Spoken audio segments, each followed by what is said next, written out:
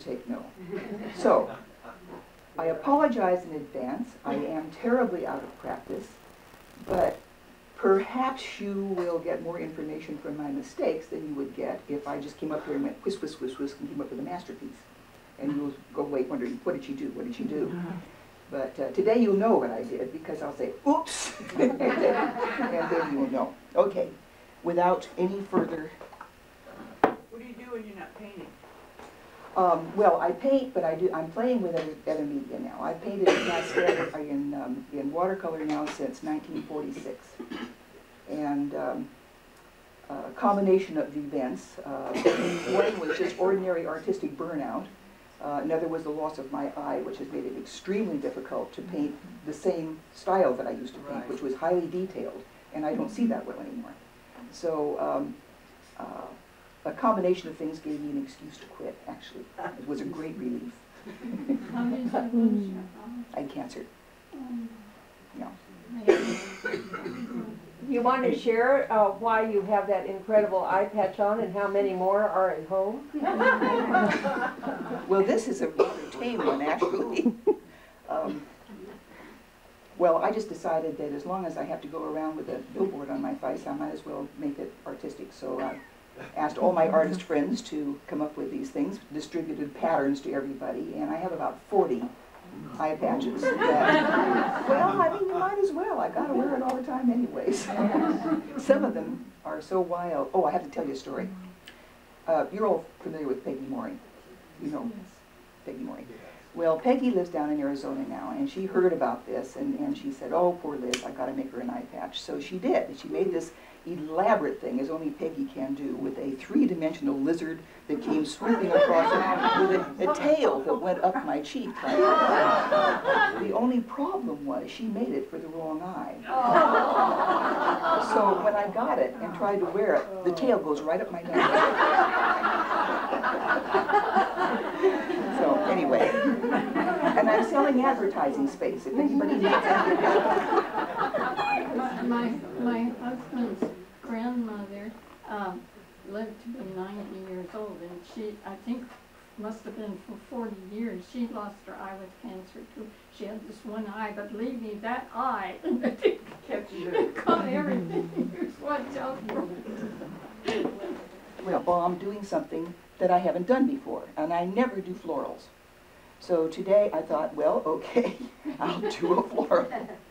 So this little still life that I brought, uh, unfortunately, it's the remains of my rose garden, which that was all there was. So um, I'm going to um, I'm going to try to paint flowers today, and I really don't know how to do this.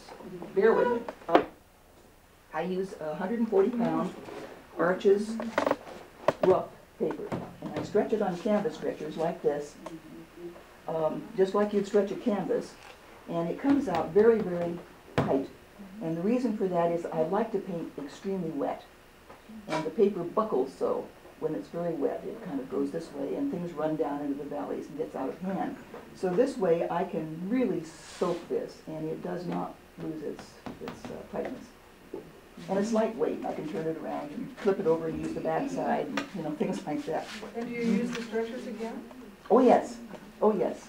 Yeah, you can use the stretchers, not only that, but you can, um, I have in my studio, I have a box full of various size stretchers, all the way from about five feet tall down to twelve inches. And I can make long, skinny pictures or, you know, any size that I want to. And I'm fortunate that my husband does my framing for me, so I don't have to paint to custom frame sizes, I mean to uh, regular frame sizes. Okay.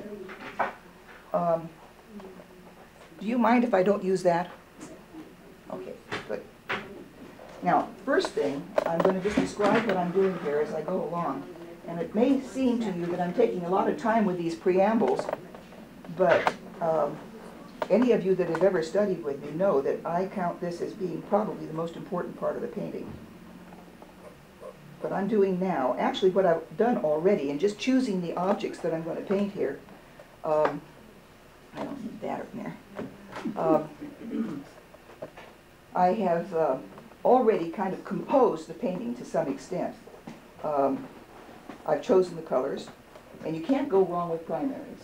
I don't know why this happens, but in many of my paintings, I find out after I've painted them My gosh, there they are again, those three primaries. I've got red, yellow, and blue. And so that's what I have again here today. So what I want to do is just kind of divide this space up somehow so that it looks more or less like it's, uh, it's going to be. And I'm not, I'm not spending any time on, this is what I call a thumbnail. And what it does is it helps me organize the objects that I'm going to paint in the space that I have.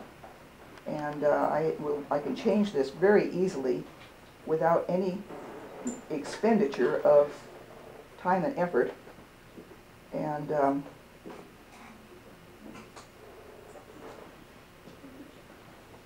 I'm looking to uh, try to get it in the, in the space of the um, uh, four lines that I already have. Um, This, this area here is already part of the composition, I can't help that. And everything that I put in that space has got to relate to those four lines that are already there. So this is what I'm, I'm doing now, is just kind of organizing my thoughts here to see how it's gonna work. And I can move the edges around. I've deliberately put this little other chunk of lemon over here to the left so that the lemons themselves will not be the only spot of yellow in the painting.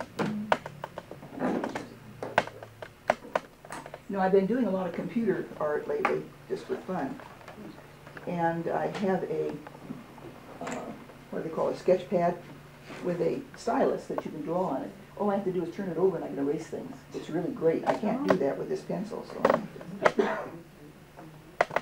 And then, of course, if it really gets out of hand, I just push a button and delete it. How do you like the computer art? Uh, it's a lot of fun. It's a lot of fun. I don't see uh, myself doing it in any way that is, uh, you know, uh, really a serious application. But uh, More of a fun thing. it's, I, I'm doing it just for fun.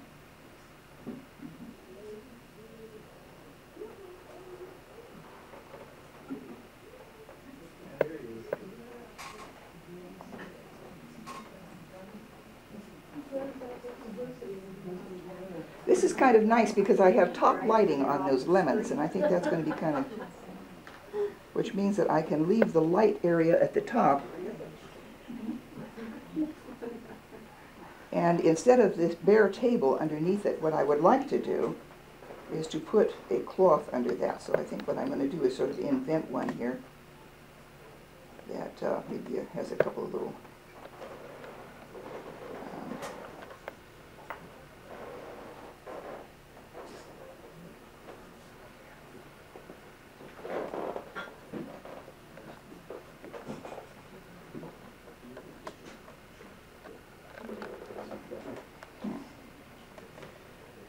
So that didn't take me very long. And yet what I've done here is make many of the most important decisions that I'm gonna have to make. It's just in that one little thing. If I didn't like that, I could try doing something different with it. I could try making it horizontal, I could change the things around. But if I come up with something here that is more or less acceptable, and today that's all I'm asking of myself, uh, then what I do is I'll take a red pencil and I'll square this off by just write, drawing, the reason for the red is so that I can see through it. And I'll just divide this into quarters, vertically and horizontally.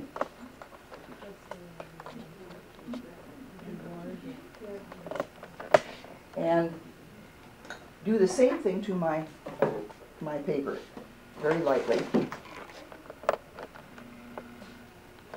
so that I can transfer those proportions that I have more or less worked out there onto the paper without too much distortion.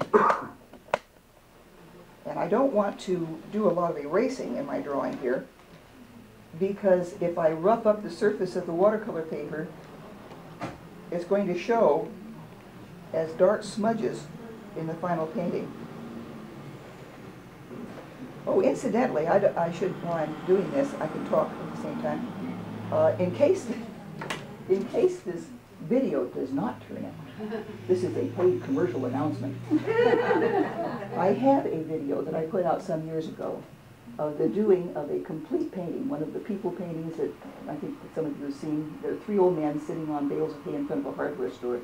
It's a two-hour video, and uh, I did it myself, it's pretty crude.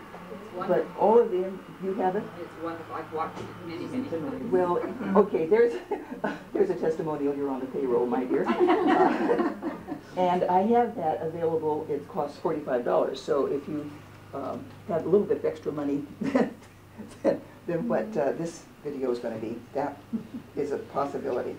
Also, I have a drawing class in Brookings that's starting um, a week from next Monday. Um, It's a five-day workshop, six hours a day for five days, and it's pretty intensive. And so um, unfortunately, it's full. But I'm Well. taking, yeah, right. Much for that. That's, that's a big help, I know. But if there are, I have a couple of people on the waiting list now, and if there are enough people who uh, want the class, I will give another section of it. Later What's on. It costs hundred and twenty-five dollars for the five days. Liz, are you still doing the critiques or not? Yes, uh, I haven't been because we've been traveling this spring, but, um, um, it's starting again on the sixth of July, on Friday mornings in Brookings, um, for three hours in the morning. People bring in, um, work in progress or, or, um, paintings that they have finished, and, um, for some reason or another, allow me to tear them apart, How many can you bring? as many as you want. Well, within limits, I suppose. No, we've never had more than we could handle. Just leave your ego at home. Oh, I'm pretty kind. I usually find something good about it. But it's, it's kind of nice, and the people who have been doing this for some time claim that it really has helped them because it, um, uh, sometimes having two heads are better than one, as long as they're on different people. And, um, okay, now I, I've got enough here, I think, so that I can start. Uh, Maybe I better check in on this here.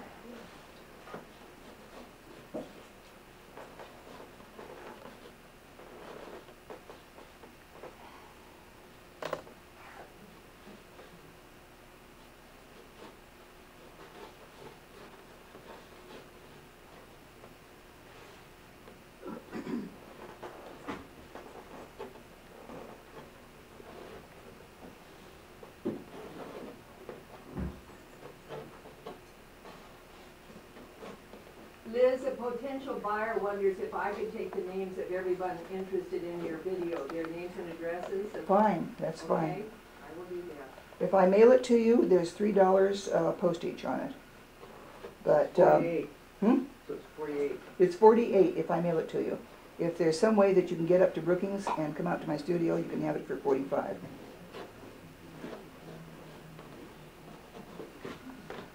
Okay. Now I can start some serious considerations here.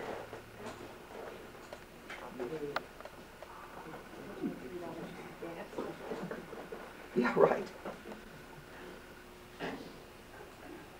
This um, poses some rather interesting problems here because um, I have transparent glass to render as well as um, flowers, which I, neither one of which I know how to paint.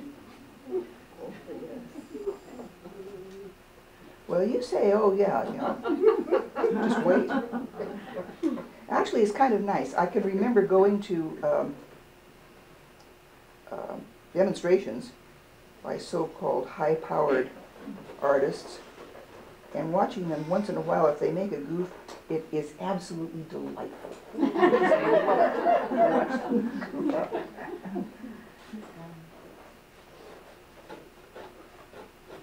I'm gonna find a little peek hole here. Did you hear me? I said, I'm gonna find a peek hole. You forgot what I am. I can see quite a bit.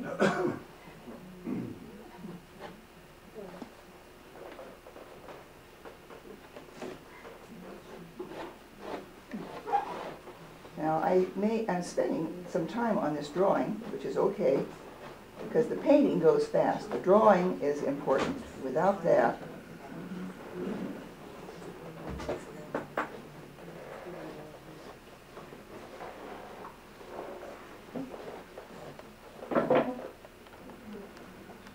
nice thing about doing things like lemons and flowers is that nobody can come around afterward and say, well, it didn't look like that.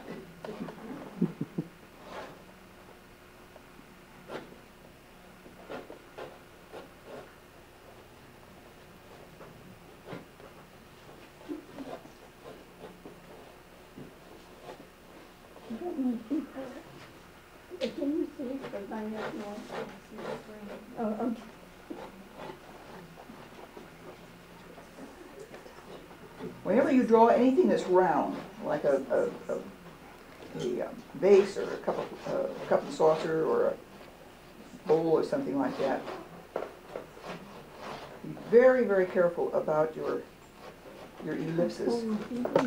Because, um, it's very, it's very easy, it's very easy to get them so that they are out of perspective. As the, um, as the bowl or, or vase or whatever it is, um,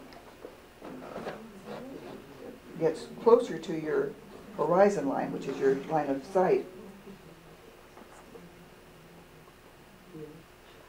pencil mark won't show through the watercolor? yeah, it will. mhm. It better, because if, once I get a wash on this, if it doesn't show through, I've lost my drawing. However, it will erase through the watercolor. Um, By the use of, I'm gonna have to widen that bowl a little bit, I don't think I like it quite that narrow. Um, It, it will uh, erase through the watercolor with the use of a very mild uh, drafting eraser. And if it's, if the water, if the watercolor is not too dark, if it's too dark, then of course it won't. But, um,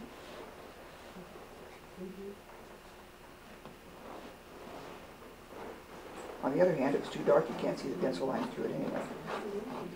No, you can't use. Can everybody hear me okay? Yeah, Okay. I don't speak for everybody, but I can hear you.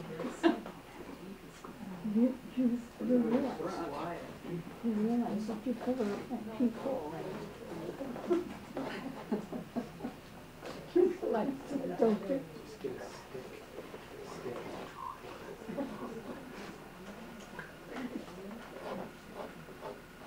Now I can make those lemons a little bit more generous size.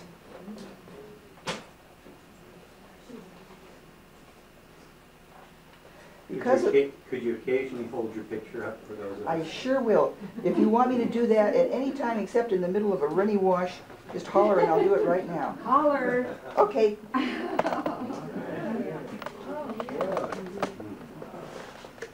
Thank you.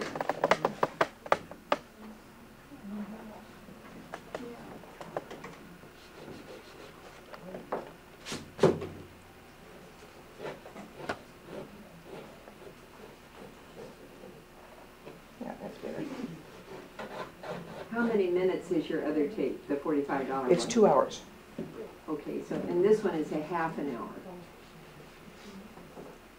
This is two hours and it's, of course, it's a painting that took me probably twenty hours to do.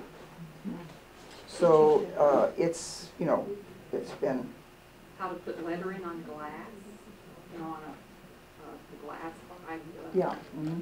Yeah, I tell them what all the teachers said. Go ahead, while I'm working, you talk, okay? And let's see what.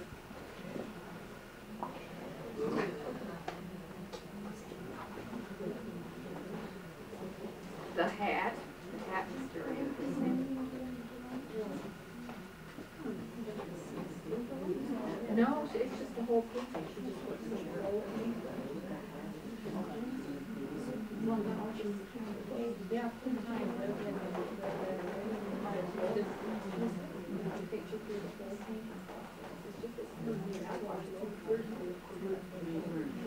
Yeah. Glad got a little, what good of detail. Detail, detail, detail. Oh, it wasn't that, that, she explained it so well. Uh, these flowers are gonna be fun because they're, this is a, uh, it's a very, very deep, as you can see, a very deep red. And, um, I don't have that color. in my palette, and I didn't bring any special um, colors today.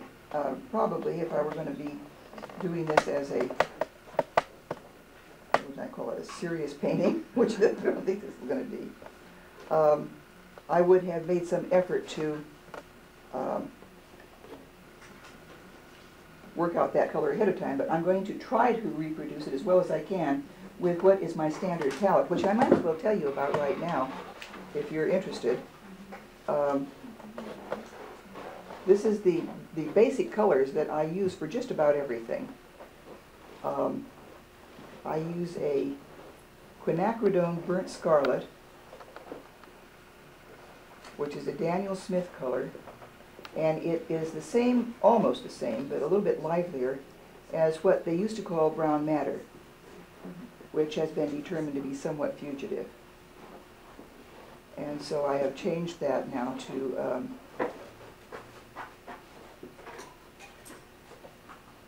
Is that brown madder alizarin? yeah. mhm.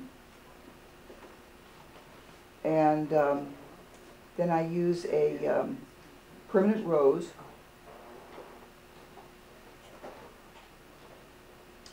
And a um, um, rose madder, genuine, which I don't use very often, but when I use it, um, it's usually in a mixture. And a, let's see, what have I got here? Oh, uh, um, quinacridone gold, I believe it is. It's, that also is a Daniel Smith color. What's that similar to? It is similar to a um, raw, a raw umber, but it's much stronger color and it's much more transparent and um, really altogether is a very lovely color. I uh, have, you know, your palette changes as, as time goes on. Mine has changed. Um,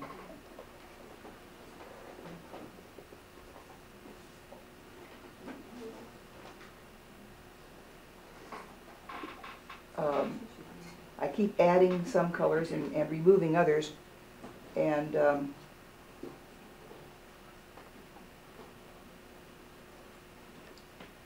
You still use sap?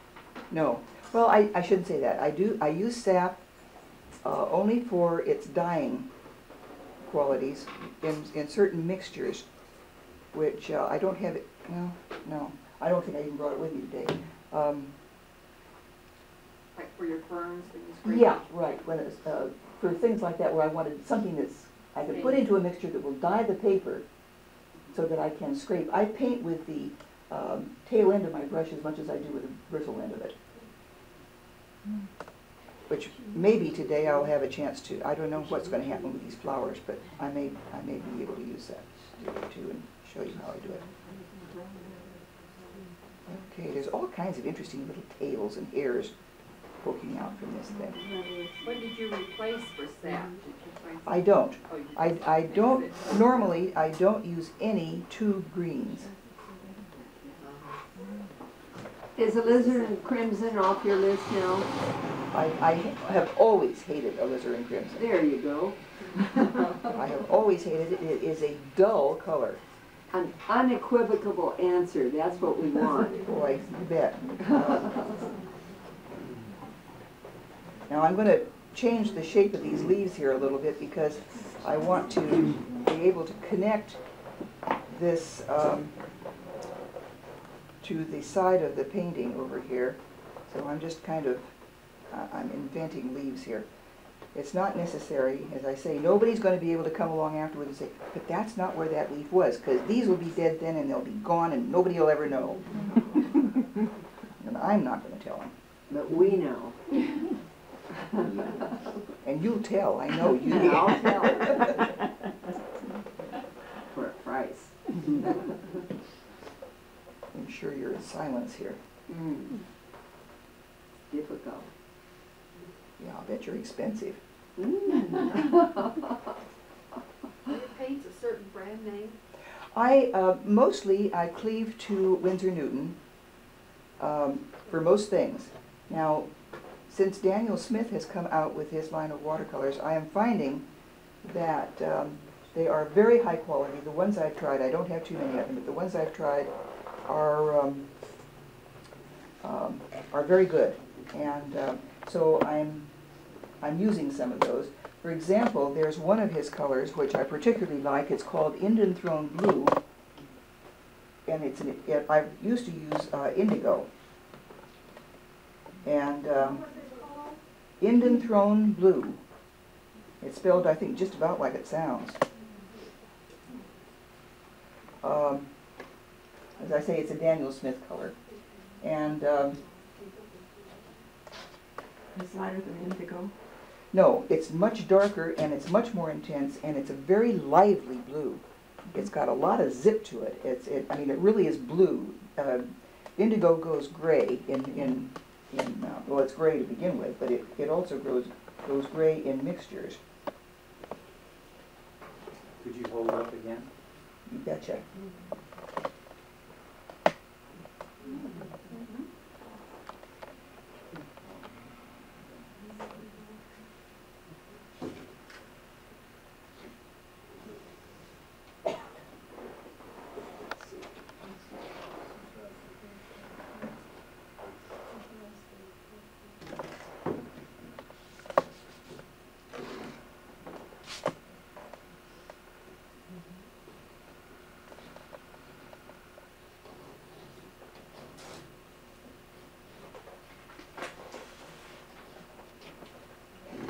inventing a class here. Check.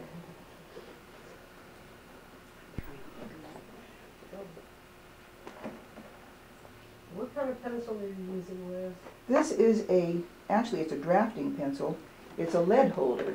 It's not really a pencil. It's just a, a, um, a thing that just, you can Yeah. slip a lead into of different grades and, um, What size are you using now? This is a grade B lead, which is the one I like for, for um, sketching on watercolor paper because it's soft enough to erase easily, and yet it is, um, I'm taking out that faint grid line that I put in there before. Um, And it's very easy to sharpen. If I want a really sharp point on it, I have a little gidget here. It's a little, um, thing, I just stick it in there and turn it a couple of times, and I can come out with a needle tip on a pencil. This has little stainless steel cutters in it that just go around and, and sharpen it. Liz, I do very little watercolor, but I found when I erased, then it made the paper behave differently, and I, do you have a special touch, or is it heavy paper, or what? Well, I use a special eraser, for one thing. This is a, this eraser that I'm using is called a Magic Rub, and it really is a drafting eraser. It's a plastic, and it, it is probably the least damaging. It's even milder than a pink pearl or art gum, and it does a better job of cutting through the, uh, well, I don't know whether that's gonna turn out to be a plat or not, but we'll hope. Anyway, I'm just barely touching the paper with this eraser now, and I'm not doing it just in a straight line. I'm kind of just sort of going over that so that if it does discolor the wash behind it some, it, uh, it won't matter too much. All right, now we're ready to start splashing.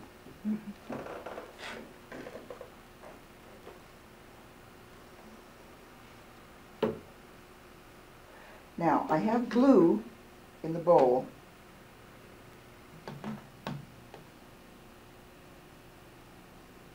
I want the yellow of the lemons to be absolutely clean and perfect. But because of the dark roses, I think what I'm going to want is a light background. I'm gonna make this a fairly high key. I'm just talking out loud now. This is what's going through my head, so if my syntax isn't perfect, forgive me. Um, I'm just thinking now, I've got the red roses here. I can certainly introduce some help bring that over here. I've got the yellow echoed. I can put some little bit of the yellow up in here. So I think I probably can go with a pretty neutral background. Pretty neutral background. Ah, yes. A chance to use my favorite triad. You guys know what a triad is? Everybody knows what a triad is. Triad is any combination of the three primary colors from which you can um, mix just about any other color that you want. And um, different triads will produce different combinations of color. Turn this around.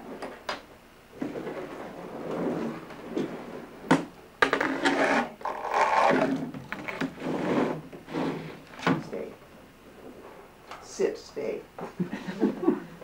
That doesn't work at home either.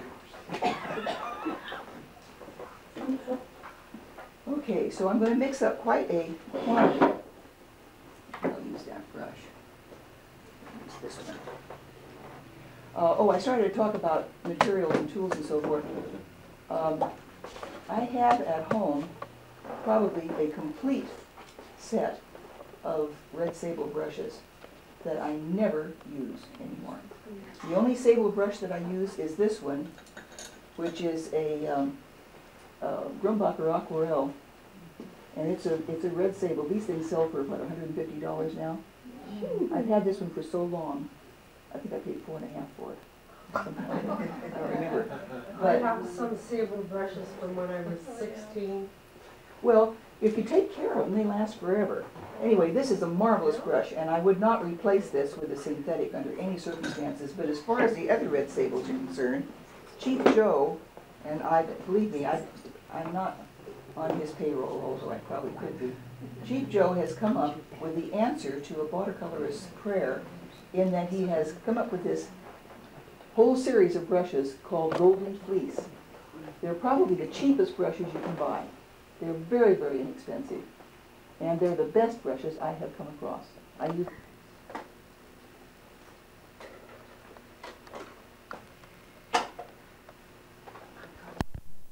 shadows down here at the bottom, uh, but I wanted to kind of cover a little bit of that white paper down there so that I can get a better idea of the values that I need to hold in the uh, rest of the, um, these objects. After all, this is really what I'm painting. I'm not painting all the rest of this stuff, but I want to kind of push that back just a little bit so I can see the values a little bit more clearly.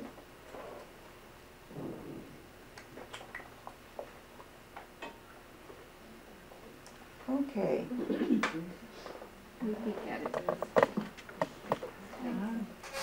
Everybody, anybody, everybody else can see?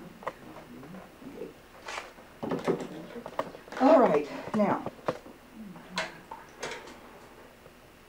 I think I'll just start putting in some underpainting here.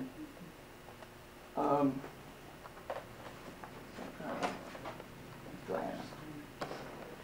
I'm going to, um, underpaint the roses now also to kind of just establish my values in the color so that as I go along I'll have a better handle on where I'm heading. So I'm going to underpaint those because they're very dark. I'm going to underpaint them with a really bright pink. This is, um, again, permanent rose.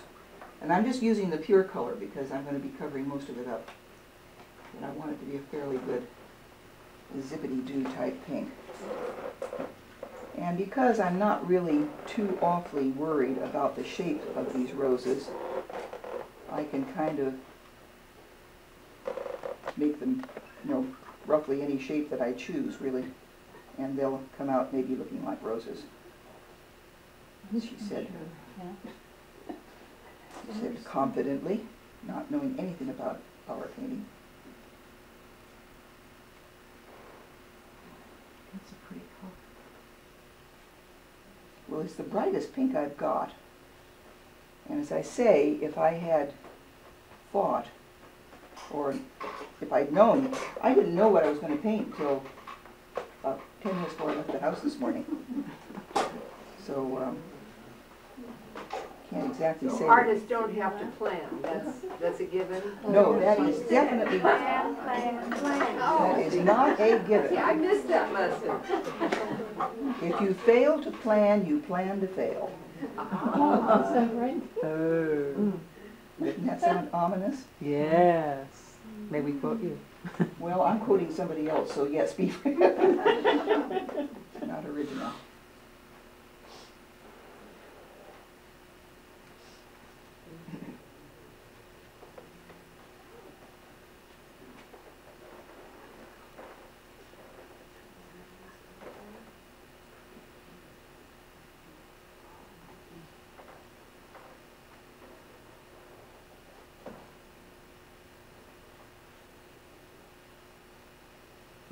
Fun to paint, I hope I can do it.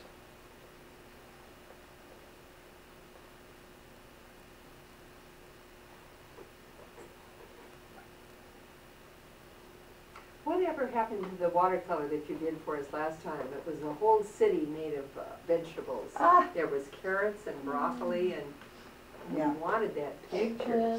Somebody bought it, can you Oh. believe that? Yes, Yeah. it's gorgeous. Eggplant. Eggplants.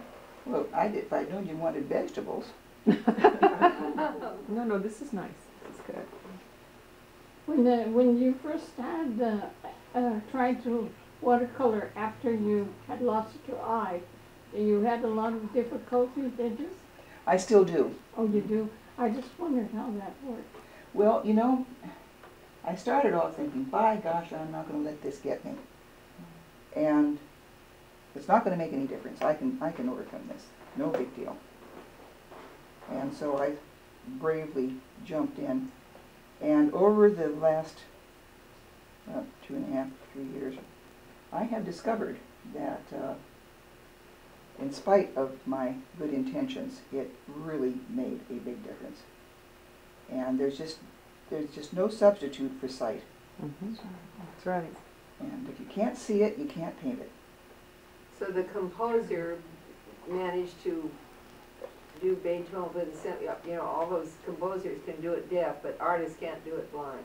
Well, I think you can. I've always said that I was, I was saving sculpture for when I lost my sight. Ah, But, uh, and surprisingly enough, you know, I, I make jewelry, and although it, it also is difficult to, to, uh, the big problem is the depth perception. Mhm. Yeah. That's one of the problems.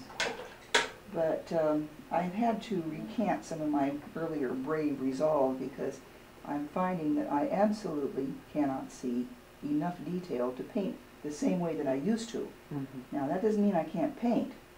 It just means that it is a lot of hard work now, whereas it used to be easy because I could see what I was doing. Now I have to really struggle and it stops being fun. And I'm just scooping up the extra paint here on these little, these little things. Okay, I think now I'll do somewhat the same thing with the lemons.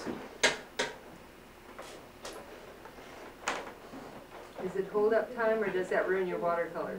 What? Hold up, hold up.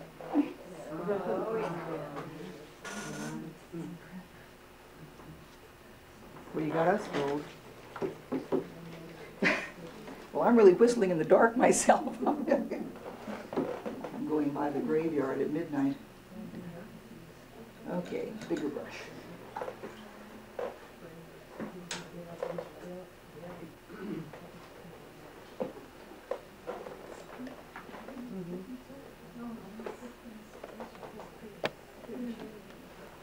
Now, I'm going to do these lemons next. And I'm going to do them one at a time, I think.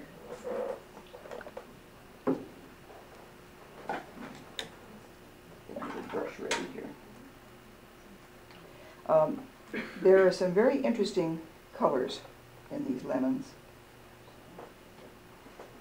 Um, I'm going to start at the back and work forward.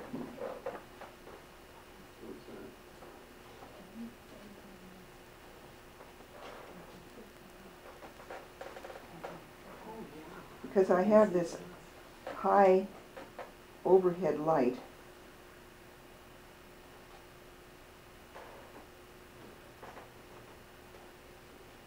I'm going to be modeling these things one at a time.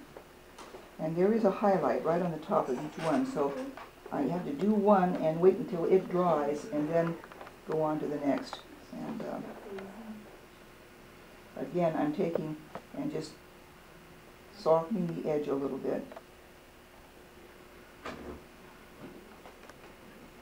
And while I have it there, I'm gonna pick up just a wee bit of, what do I want here, purple.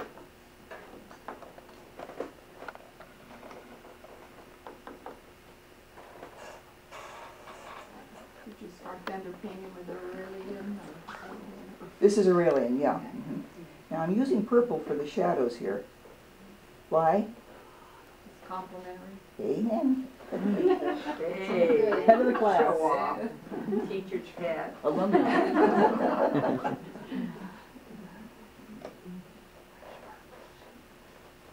Probably Winsor Violet, so did I have This is ultramarine violet? violet. And I think this is also a Daniel Smith color, if I'm not mistaken. There.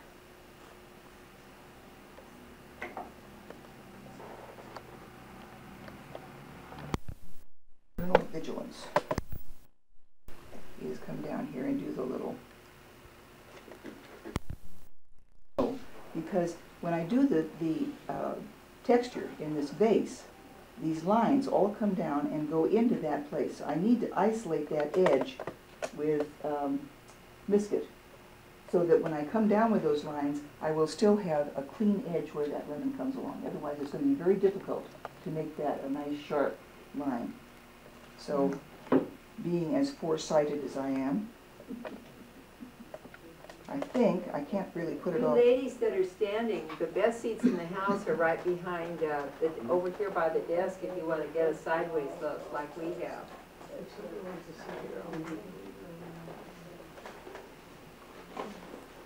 You'll have to bring your own chair with you, however.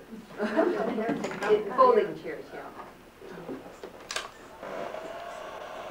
Bonnie, this is a great, if you could bring a chair, this is a great seat here. Oh. So she's just vacating, no, she was, she's fully all along, she's vacating, yeah, yeah, she's real low. Or just get rid of her cigarette.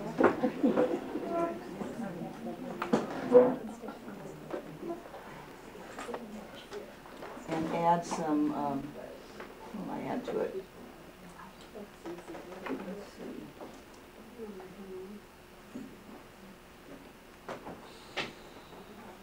Where do I have the layers?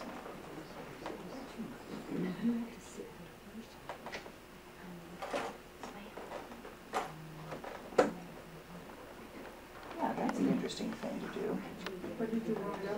I haven't done it yet, I was just experimenting. Um, I'm gonna add some, of all dumb things, I'm gonna put some cad red in it. Some what? Cad red. Oh. Which is, is gonna warm it up and make it a little bit more neutral. I want it to be different than the, um, than the background. Okay, here goes nothing.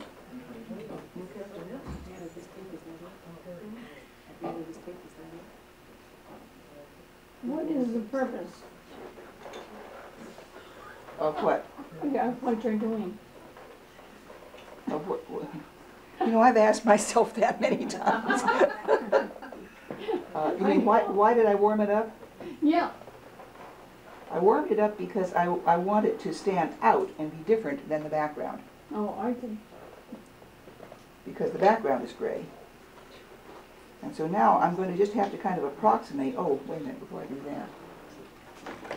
Better carry on here.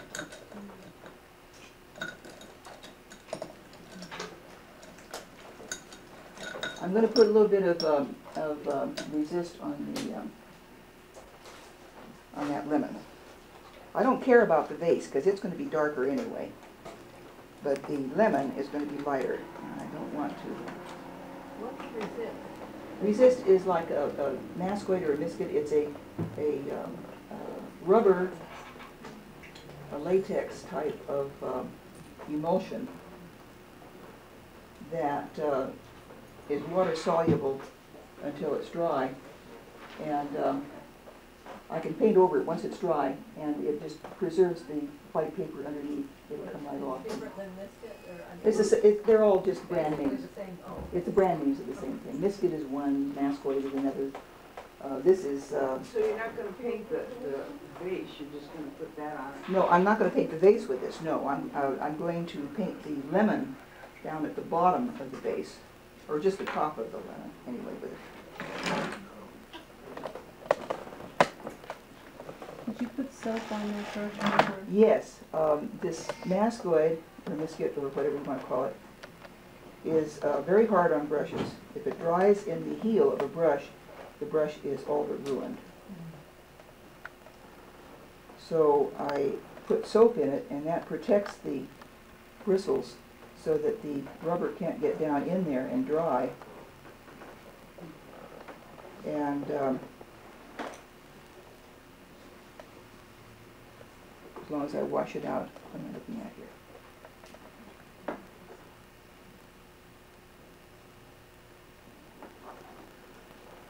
You use, a liquid soap? Um, no, I don't. Uh, liquid soap really doesn't do the, as good a job of protecting it as the, uh, as solid soap is. This is just ordinary face soap. Actually, I had, I, I keep losing these things. Um, I had some, what I do is take one of these little hotel bars and just cut a chunk off and put it in a little box. But I can't find it. I mean, I lost it someplace. So what I did this time was I just shaved a bunch of face soap and then wet it and put it in a little box. It does the same thing. Okay, now I need to dry that first before I go too much further. You have to be careful drying Miskit with a hairdryer because you can cook it very easily. If it gets too cooked, it um, polymerizes and then you can't get it off for love nor money. It just turns into like a varnish. And this is very hot, so I don't think that's. Do you have trouble with mildew with your paints? Some colors, yes, I do.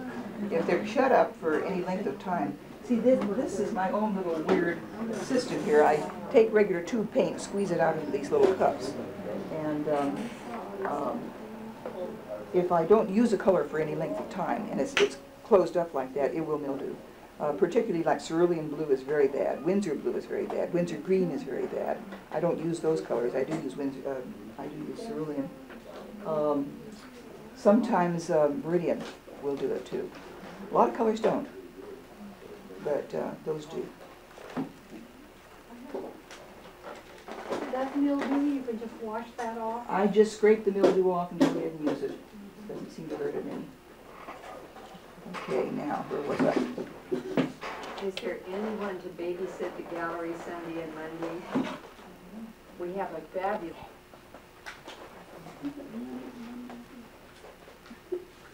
Okay, I'm, I'm just really kind of feeling my way along with this vase, because I'm, there's a lot of texture to it. But, um,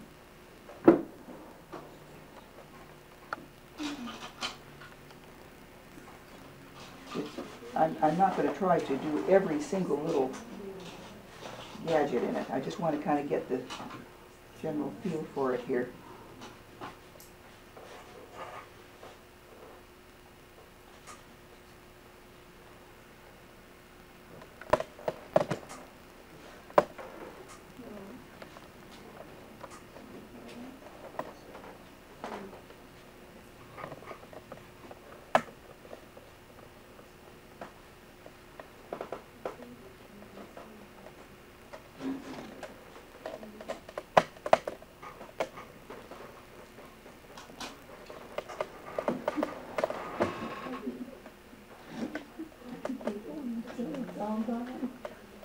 You'll see me every so often reach over. If I were you, I'd cancel my Acapulco reservations. Don't give up your night job. Right. be sure and sign our book when you go out.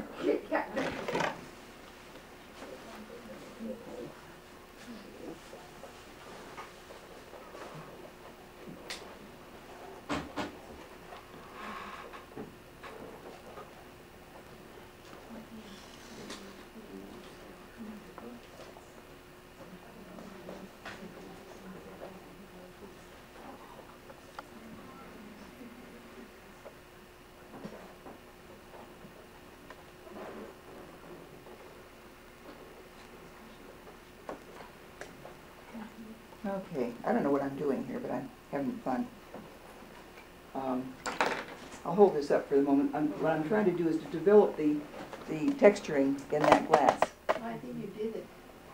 Well, I still have to put the, the stems and things in. Oh, But, uh, wonderful.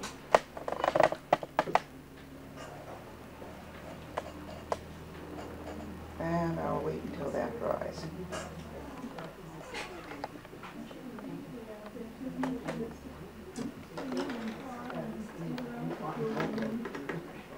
I'm learning a lot.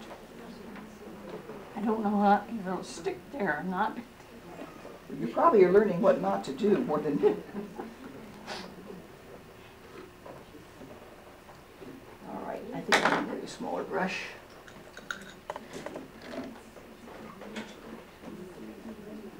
Now I'm gonna take a little bit of, um, this aureolin yellow that I had mixed up here. Not mixed, it's just sitting there, actually. And I'm going to put some Antwerp blue with it to get a nice green. But because I don't want a grassy green, I want kind of on the olivey side. It needs to be a little darker than that too, so beef those colors up somewhat. I'm going to come in and add just a touch of this pink to it. And that's going to just make it a little darker so that it will look like stem color. Oftentimes, as I'm painting, uh, rather than dip over here and get more color, I'll use something that I already have on my palette. I'll take a little bit of this and a little bit of that and a little bit of something else to mix up a totally new color. And somehow or another, I'm not quite sure how it happens, but somehow or another, that does seem to lend more color harmony to your picture. If there's a little bit of pink in the green and a little bit of green in the pink and so forth, it, it, uh,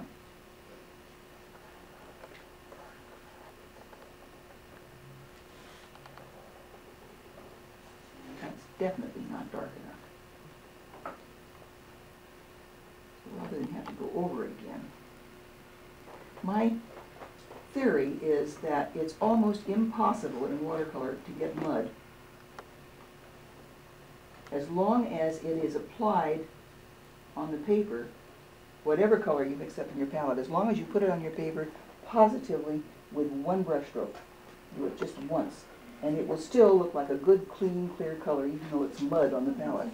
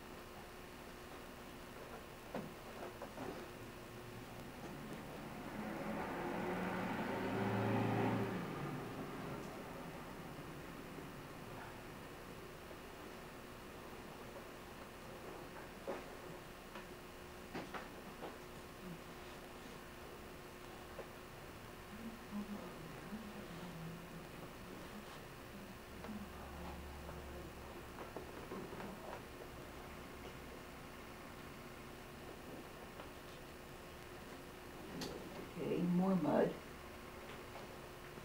I'm going to go to kind of the pink here for the rose stems.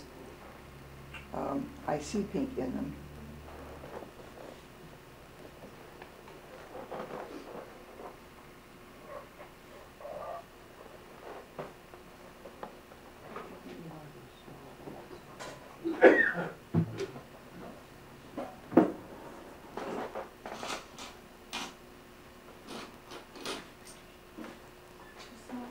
Yeah.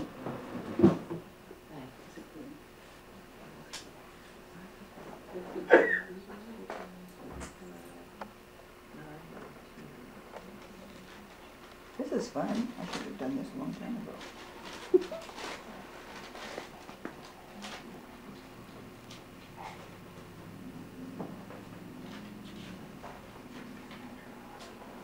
Okay, that's good enough for now. back and work on the lemons some more.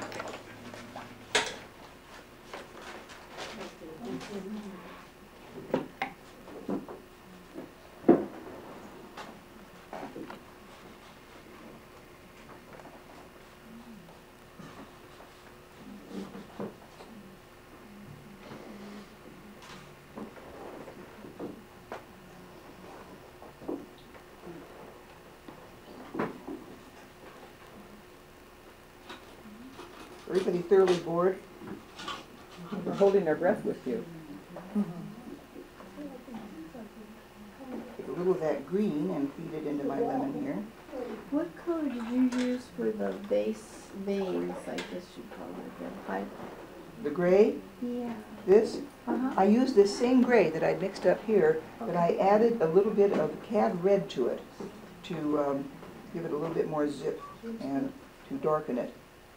And um,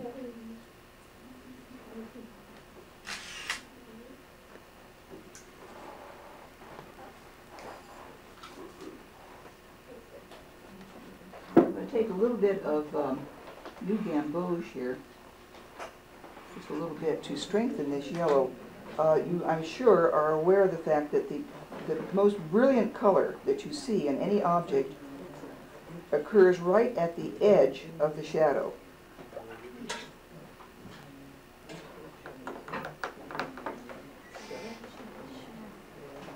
Between where the light and the dark meet is where you see the really true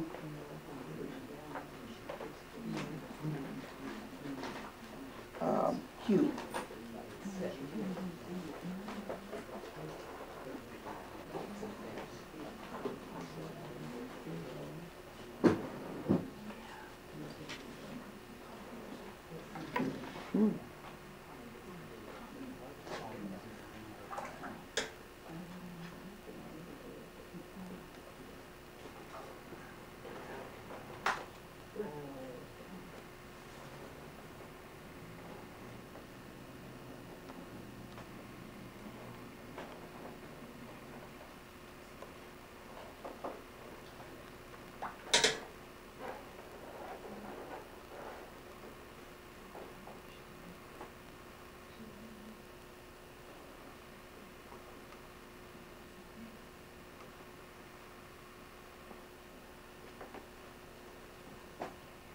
When do you take a rest? When do I take a rest? Uh-huh. I don't. I don't usually. You just through, huh? Well, you know, I get started on something, I'm sure that you probably do the same thing. I get started on something and I get interested in it. And um, What's in the computer? it just, uh, yeah, yeah, the time just goes and all of a sudden I realize how tired I am. By that time, it's, it's cocktail hour. Paint better after cocktails? You know, that's something I've never been able to do, although I have painted watercolors with beer sometimes by accident. And coffee. Red. Years ago, I used to do a lot of painting up at high altitudes, up in the mountains. And I would go out in the morning with two canvases, two pieces of stretched paper, and two beers, and my paints and so forth. And um, one beer I could have after I finished the first painting, the other beer I could have after I finished the second painting. That's called motivation. Chocolate works the same way. No, no, I, I, I didn't deny myself chocolate in the meantime. I'll make just a quick announcement if I may.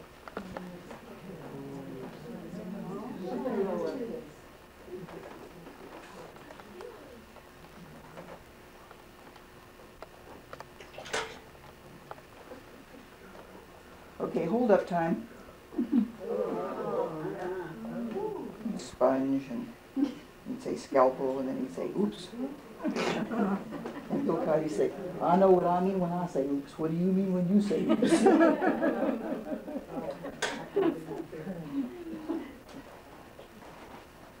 okay. Dark, dark green in there is livening things up. Mm-hmm.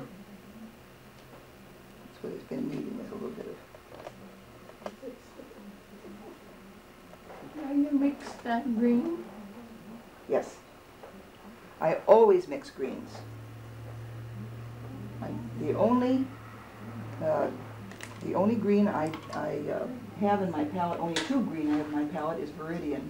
And I use that um, for mixing, strictly for mixing. Hardly ever use it otherwise. She's outside. Hold on. She's in now.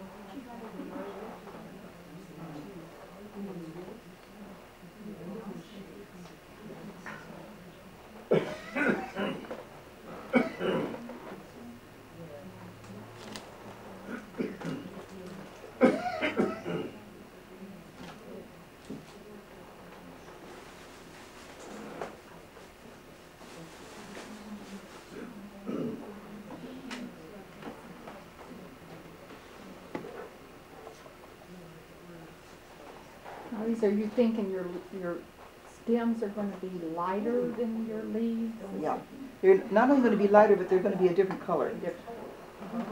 The stems tend to be kind of reddish in this kind of rose, and there's little red edges along the edges of the leaves as well.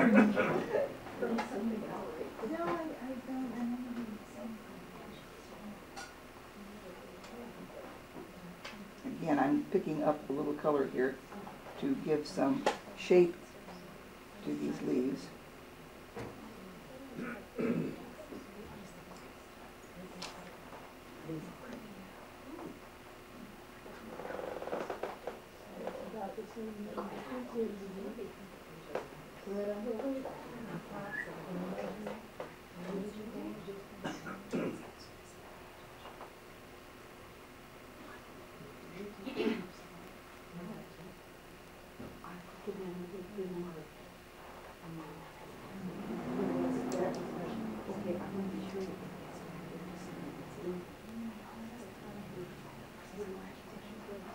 Sounds like a funeral parlor, these creeping around here whispering.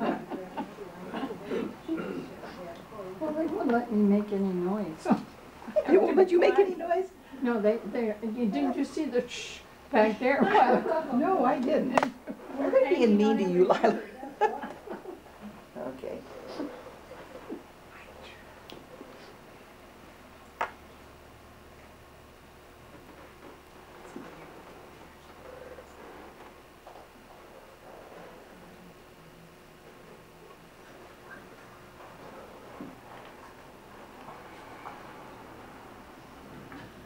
Now, in a sense, this green I'm putting up here is also just an underpainting because actually these little hairy gadgets up here are largely red. But there is some green to them, so I'm using the green as an underpainting for what will eventually be the red. Sylvia, is this take two? Is this take two? Does she mean tape also, or just, Take three. Uh, It's, uh, shall I say it's two or three? One of the above. Two?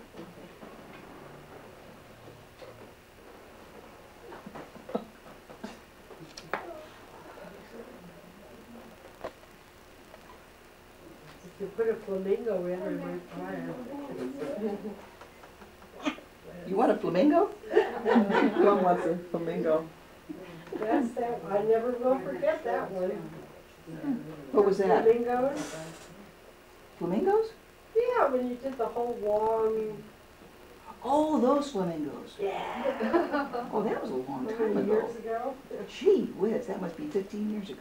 Well, tho- that couple had the gallery up at, on the south jetty, Yeah? and Bandon was there. Mick and the Norwegian lady. Well, this is in Bandon. No, no, Oh, no. Bandon. No, uh, this was um, Duffy and Benita. Duffy and Benita Stender had that little gallery, the Great Whale. Are you thinking of Nick and Ellen? Yeah, They were from Brookings, I'm talking about. yeah, uh-huh. This was a, uh, in Bandon. Some friends of, I think they were, weren't they friends of yours, Liz? Yeah, mhm, I've known him for years. I can't remember who it was. The people that own the gallery? Yeah. Mhm. Is it still on it? They, um, It's a red and that, is that your reddish? No, that's just, uh, uh, more green. If you reach under her chair and you get over the chart, see that little red line? Like leaves. That's great. And then she'll unhook it for you. And if you give me the other graph, yeah, we, yeah, we're gonna be charging it. If you just unsnap it. And she'll- I don't think we better go into the video in business. It, it comes right, right with you. I mean, it's effortless if you do it the right way. Oh, you just snap backwards. I gotta get put on a burst of speed here, I'm taking too long. It's almost two o'clock. I've only got till four. Right.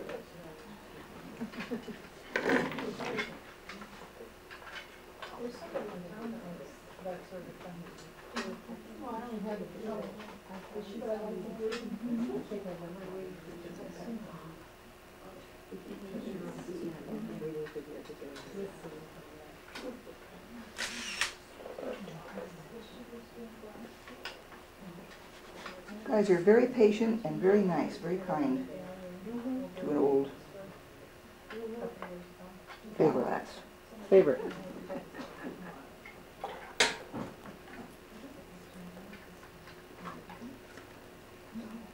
You know, the paint- painting I like so much of yours is the one where the people are all looking out into the ocean and you oh. see all their backsides.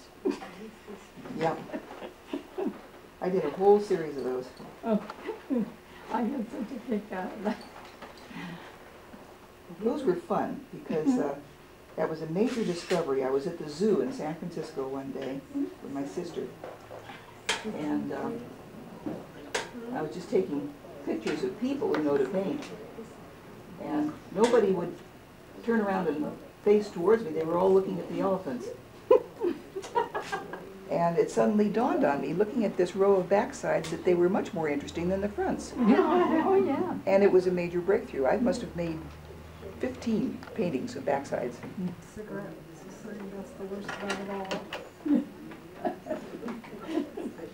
That's a true. There you go.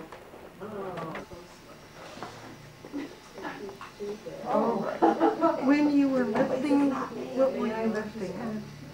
Uh, the, on the leaves, I put down a blob of dark green, and then I would take a brush that was clean, a clean brush, with um, um,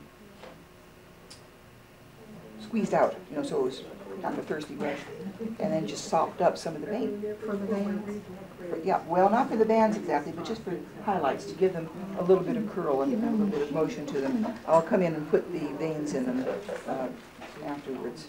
The veins actually are a little darker, so that'll be easy to do. Now, I think what I need to do is to finish the um, stems and things, so that's my next job here. It's more of my pink.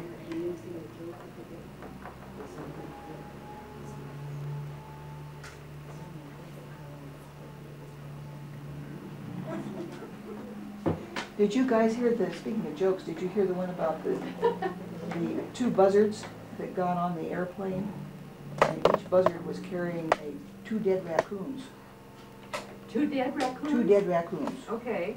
And the stewardess met them in the car and said, I'm very sorry, sir, but only one carry-on per passenger.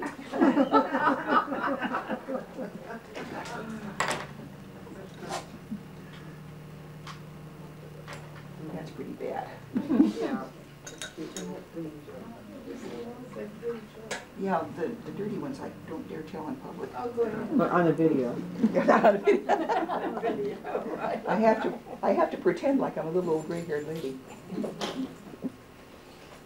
Okay, what I'm gonna do now is I'm taking some of this pink and some, a little bit of the green, but mostly the pink. And I'm gonna come up and put the dark, the reds and things in the um, stems. So this is gonna take a few minutes.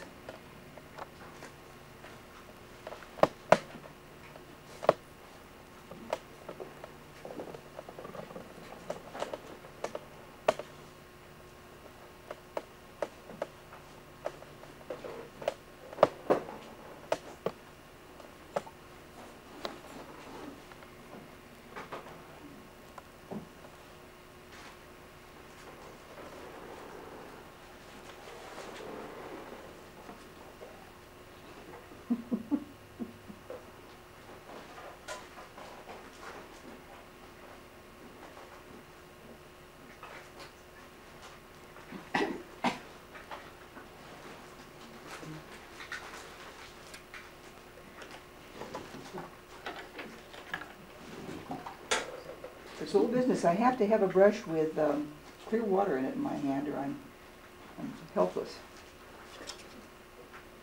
Uh, That paper has to be a special paper for you to, to, to, uh, put it, put it on and stretch it like that, doesn't it? Well, it's regular watercolor paper. it? Is. It's just regular, it's Arches, hundred and forty pound um, watercolor paper. It's not anything unusual. Is it Um, over canvas or, No, no? not at all, not at all. It's tough. It's really tough paper.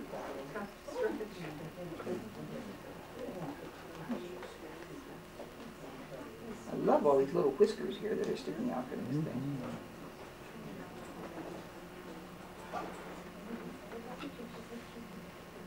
That's what stems are red. I know, I didn't- yeah.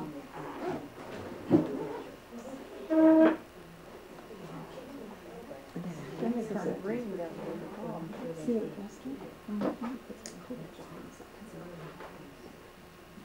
I have a question, but I don't know if it's appropriate. Ain't no such thing as an inappropriate question. How, how do you decide how you price your films, or your pictures? Well, you know, that's a toughie. Um, the best thing to do is to, when you're, when you're first starting out, it's a lot easier to raise your prices than it is to lower them. So if you start out too high, chances are you're gonna have to someday, if you wanna sell them at all, you might have to lower your prices. So the best thing to do is to go by experience. In other words, if you, the first painting I ever sold in my life, I sold for ten dollars, and I was delighted to get that. But then, when that one sold almost immediately, the next one I sold for twenty-five.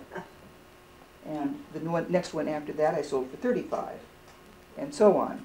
As long as But at least you started out in dollars.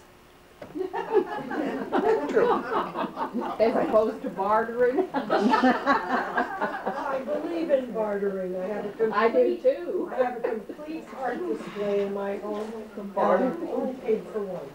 That's oh, absolutely, listen, artists trade paintings all the time. Liz is the only one that hasn't traded with me. It, it, boy, that one almost hit me between the shoulder blades. It's recording too. Well, I traded, uh, I traded paintings for a piano once. Yeah. I, uh, didn't pay a dental bill for about, uh, four years one time in Brookings because the dentist took a liking to my paintings. Surely you're getting your knee surgery done. Well, I had to pay for that. On the other hand, Dr. Lau's been very, uh, They're very, he's, he's commissioned probably about six or seven paintings. yeah. And Dr. Lau did you need? Yeah.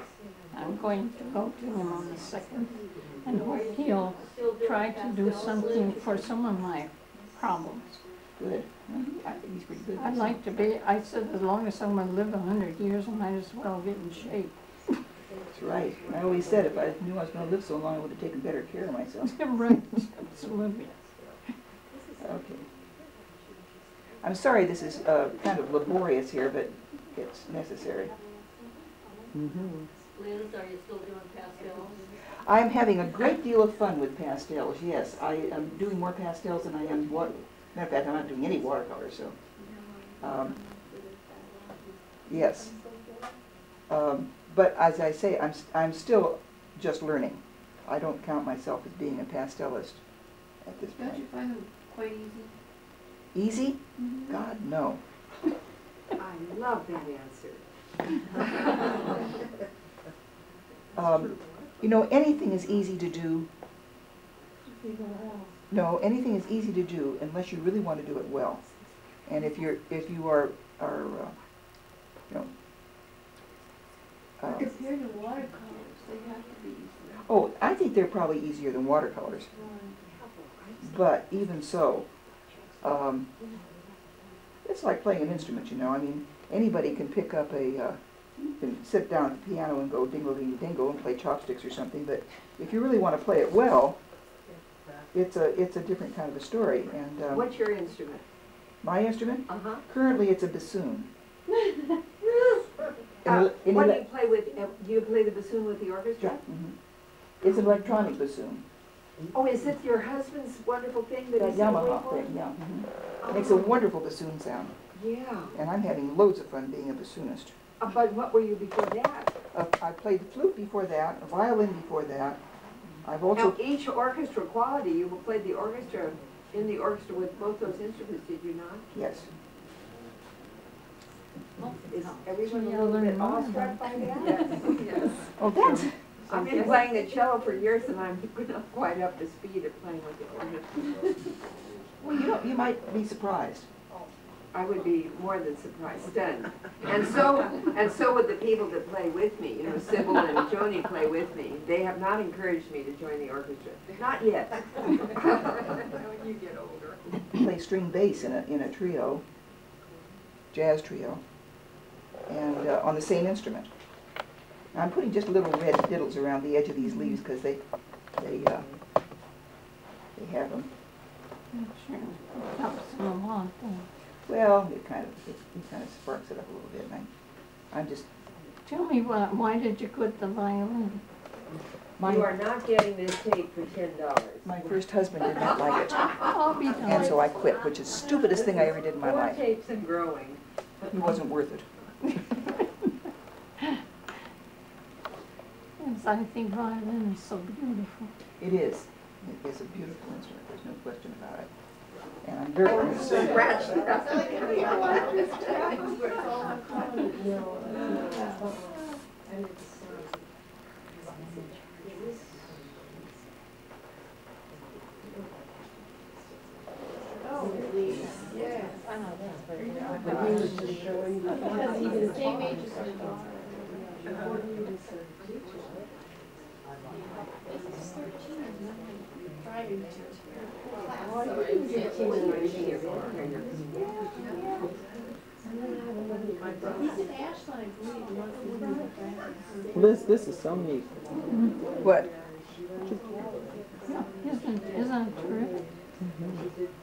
time to hold it up?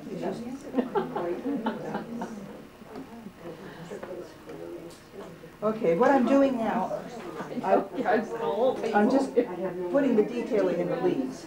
And a gray that I had here to begin with, this blue-gray type of thing, I'm gonna add a little bit more blue to it, except this time I'm gonna add cobalt.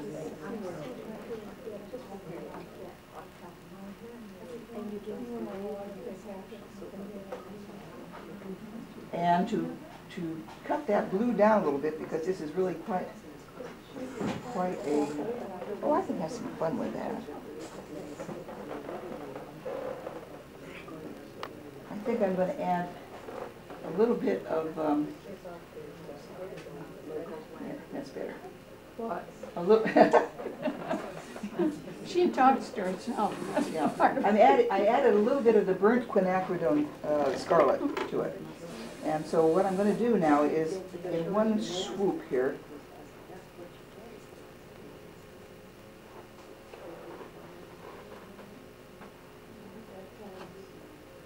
I'm going to uh, lay this in, and then I'm gonna start playing with it to get that glaze. That great brush sure helps up there. Yeah, Oh yeah, these brushes are absolutely super. I just love them. They hold a lot of paint. They, they keep their points a lot longer than sables do. Mm. And um, they're so cheap that you can have a half a dozen of them where do you get them from Cheap Joe. cheap? Joe? Never heard of it. Yeah. We have his catalog, Oh. Yeah, okay. Okay, now, they may ask once they were out on a picnic or something. They're really like. Now while this is wet,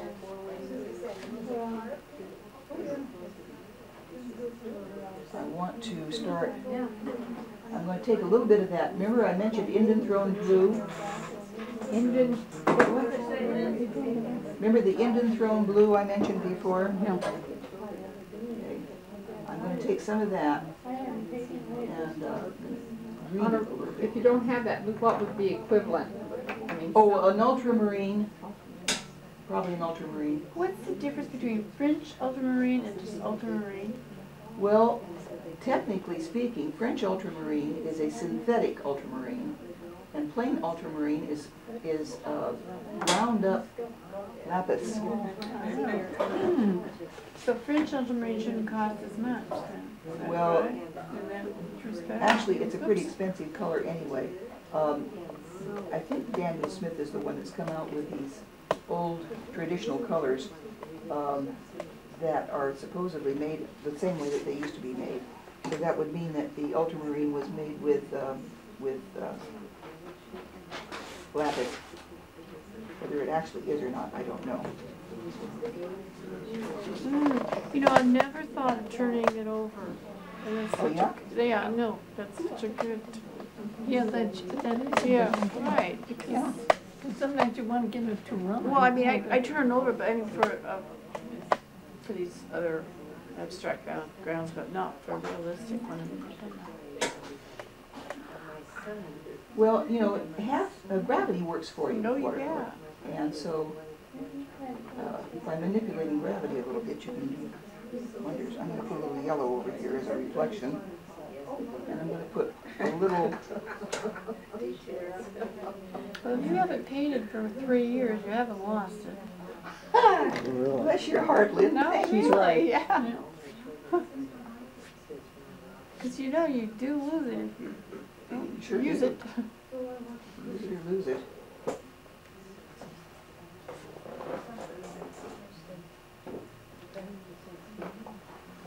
Your handicap is an encouragement to us. Ah!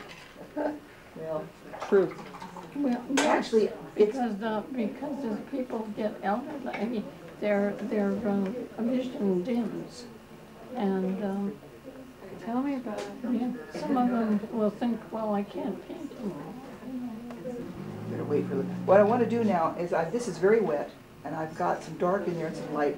I wanna wait until it dries just a little bit more, and then I'm gonna start floating water into that to get it to run and burble and, and drip and so forth, so I can get somewhat of that glaze, uh, texture into it.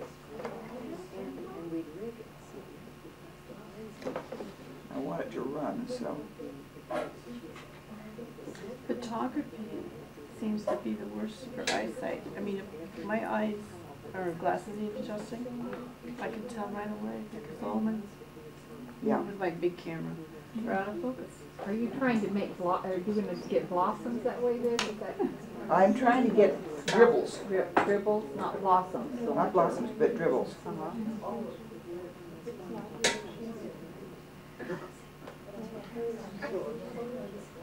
Well, I was blind on one eye, or practically blind, I couldn't see anything at all. Uh, When they, I was surprised, I went to, to have a, have a driver's test in the one eye, was perfect, you know? And I took the other eye, and I said, forget it, I couldn't see a darn thing.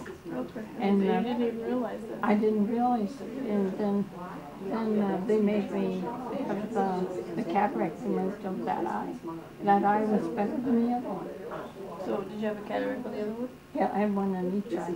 Yeah, But yeah, they- that one, they say, They're isn't that a wonderful could They, they removed them, and the only thing is now I have distant vision. Did you not have any glasses or anything? But I cannot, I only Yeah. have to use glasses, but I have to try those.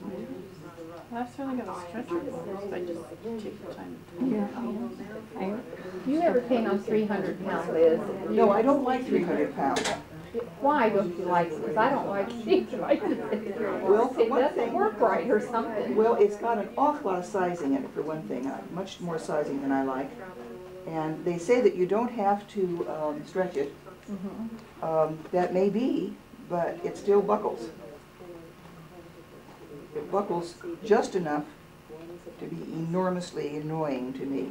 It, it goes this way, you know, just big things like that. So you're, if you're painting very wet, your, your paint just goes down into the valleys and you have no control over it.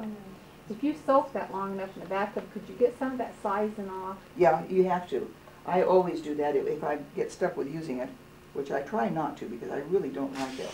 I don't like the texture of it, I don't like the surface of it. Which, which paper is that? Three I'm hundred talking about pound. three hundred pound. Yeah, It I works. put a wet towel on. But this is rough, you're using This is rough. one forty rough. That's right. Stretching it tends to take some of the uh, roughness out of it. But now I just take It the gets stripped, Does it make it down to like a cold press then? no, No, not that's not that much.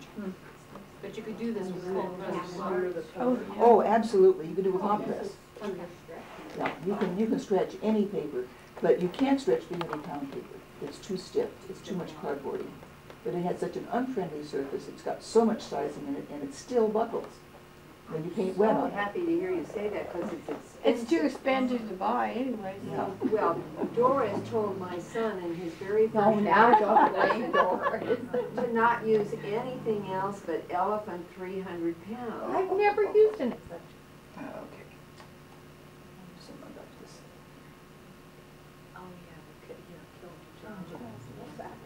But you know, it's sad, you see, the when, if you're watercolor. What'd you say? Yeah. How many, how many paintings you have And to the way, coats? way lights come in. Are you talking to me? Yes. Um, how many paintings do I have at Sutter Coast? Is that what you said? I have, uh, three. Uh, there's one large one in the lobby of a carousel horse, And then there's one. Then there's the old Sutter Coast Hospital. and there's the one of the old Sutter Coast Hospital. And the people And sitting there's on the one Oh, of the the people on seaside, the that's what it Yeah, was called. and one of the three gals on the bench. I think those are the only three that are there. And then the building right behind you, you have the triptych in the lobby, What kind? triptych, Yeah, there's a mural in the lobby and, um, and a- Rhododendron? Mhm. of rhododendrons. Is that yours? Is that- And then, uh-huh, that's hers. And then Dr. Lau, his whole office is filled with, uh, There's one of hers on the stairway. and, and the stairwell going up, Landing. right. Oh, you're talking about the building behind the, Uh-huh, where all the doctors mm-hmm, hang out. yeah. But you don't wanna go. When I first saw them, I was trying to figure out a way I could steal them. They do get stolen. Do they really? Yes, they do. Boy, I wish I had that one with them on the bench. They've got some kind of uh, hookup that you, they mount them. They get them taken off the wall because they do get taken off. the Really, really? Oh, yeah. I Dr. Lau, I'm very office, I, they had just had some prints of mine and they got packed off. Oh, off. really? Good for you. Well, that's the greatest compliment. They say That's double the your way I prices take at that it, pace. sure. Oh, We you- apologize for Willing not to go to having them out jail, front just because steal people your were stealing, because they were small. Yeah, and I'm, I'm jealous now. Well, then Nobody we, stole mine. they, they even take big ones because, uh, we eat at, that uh, uh, restaurant in, I can't think of the name, but, uh, in, uh, Brookings. And they, uh, these are more Chinese, cause that's a Yeah, Chinese. without my paintings. And, uh, they, they stole them out. And then they were good sized. I don't know how they managed. This is are heavy enough Yeah, to take them, yeah. I don't, I don't think they could put them under their coat. I think they got them kind of screwed to the wall. Yeah, I think they? they do, they probably Yeah, I do. think- yeah, I think that's a good idea. And in the hospital, I'm sure they do. Would you explain again how you put that paper on that stretcher? I sure will. Can you wait just a moment? Sure.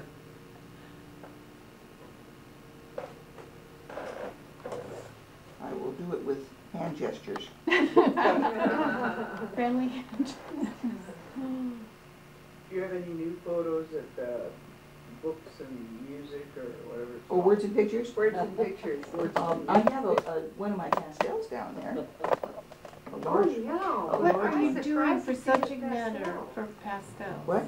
What kind of subject matter are you doing? Well, this, oh, I, I'm still experimenting with that. I, I do all kinds of different things. This You can do anything with a pastel, just about, yeah. yeah. I've done a lot, I, well, of course, I've done, um, I've done pastel portraits for some time. And probably my masterpiece is, uh, the one I did that's at the senior center of my sister, who, uh, passed away about six years ago and they wanted a, She was quite a benefactor of theirs, and they commissioned me to do a portrait, which I did in pastel. And I must say, all due modesty, it's probably the best thing I've ever done. Mm. Well, so if it's better out of a labor of my, love. the only. See, she